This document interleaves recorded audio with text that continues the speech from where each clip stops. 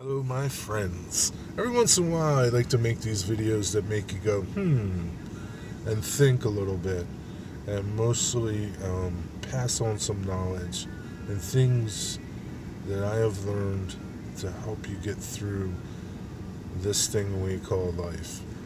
Um, so, for my family and friends that might be watching this, these are things that help me get through life. Three things. Uh, and whether you're spiritual or not, um, doesn't matter, but they're all related and they're all important. Uh, the first thing is faith. You need faith to get through life. Faith that you'll get through your day. Faith that you'll things will get better. Faith that carries you through each good and bad part of your life. Mostly the bad parts is when you need your faith.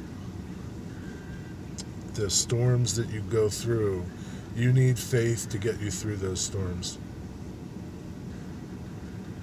The next one is important as well. It's hope. Hope. Hope gets you through. Hope is the creator of dreams. Hope motivates you. Hope encourages you. Hope carries you through this journey that we call life. And the next one you guys can probably guess it. It's love. Love is the most important thing. And it's not that love that we all kind of think of when we think of love. It's the nurturing love, the love that family and friends and people you don't even know can give you.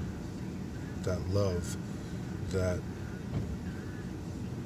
carries you through each day and gives you hope for the next day and faith that gets you through. It's those three things that are so important to get you through this thing we call life. Grab each one of them and use them. Until the next time, be well, be blessed, and uh, I'll see you somewhere.